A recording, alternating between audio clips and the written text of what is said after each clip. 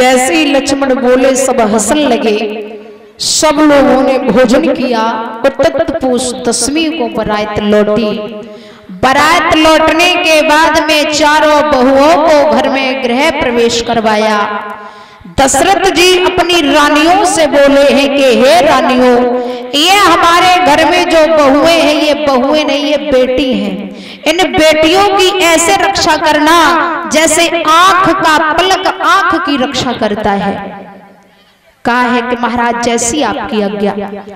भाई बहनों आज भी हम कहते हैं कि हमारे घर में आए तो सीता जैसी बहू आए वो माताएँ मैंने हाथ उठाएँगी जो सीता जैसी बहू पाना चाहती हैं। हाथ उठा दो कितने लोग हो जो सीता जैसी बहू चाहोगी?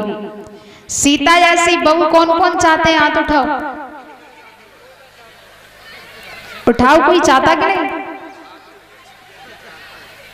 कैसी चाहते हो सुपड़ खा जैसी?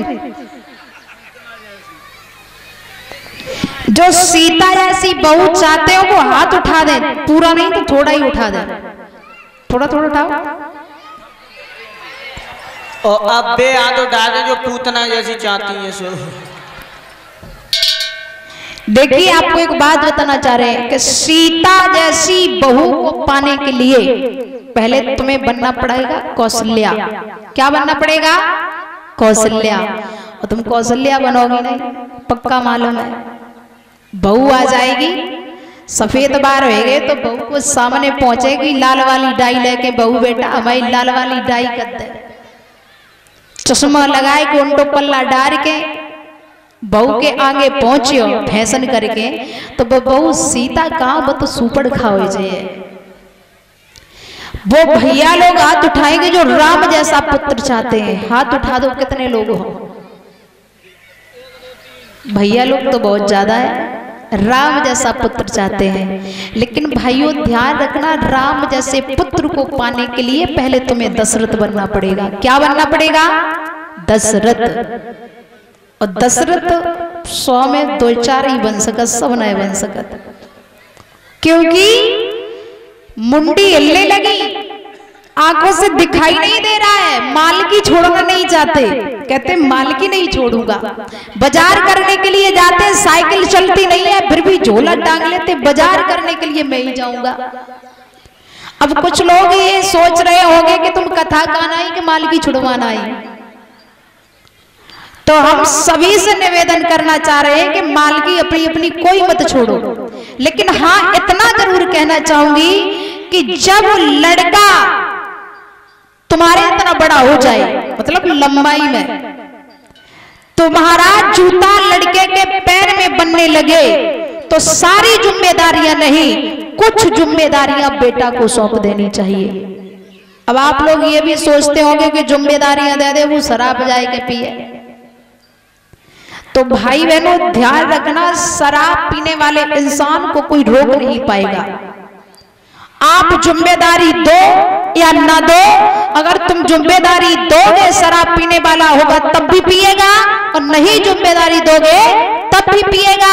अगर तुम पैसे दोगे तो ठीक है नहीं दोगे तो चुरा के लेके जाएगा। ये शराबियों की आदत हुआ करती है।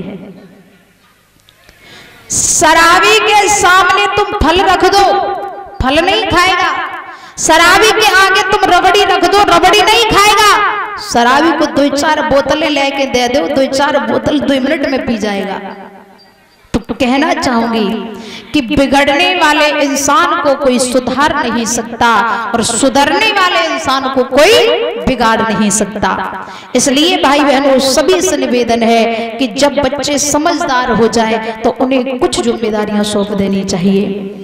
महाराज दशरथ ने आज अपनी पत्नियों से, अपनी पटरानियों से कहा है, ये बहुएँ नहीं हैं, ये बेटियों के समान हैं और प्यारे भाई बहनों, धर्म की बेटी एक बहू हुआ करती है। बहू को कभी अपने घर में लेकर के बहू और बेटी में फ़र्क नहीं करना चाहिए, लेकिन आज मैं अपनी आँखों से देखती हूँ कि सासे जो हुआ करती है, वो बेटी को बेटी समझती और बहू को बहू समझती और तभी मैंने देखा अपनी कि बहू भी ऐसी आती है कि सास को कभी सास का दर्जा नहीं देती। इसलिए सभी से निवेदन है कि एक माँ को आप छोड़ करके आई हो दूसरी माँ तुम्हारे सामने है। जिस उस माँ से तुमने इतना प्रेम नहीं किया, उतना इस माँ से प्रेम करिएगा। क्योंकि उस माँ ने तुम्हें 18 साल तक रखा, और ये माँ तो तुम्हें पूरी ज़िंदगी अपने साथ रखेगी। इसलिए इस, उस माँ का भी ख्याल रखो, लेकिन इस माँ का भी साथ साथ में ख्याल रखो। बोलिए बांके बिहारी लाल की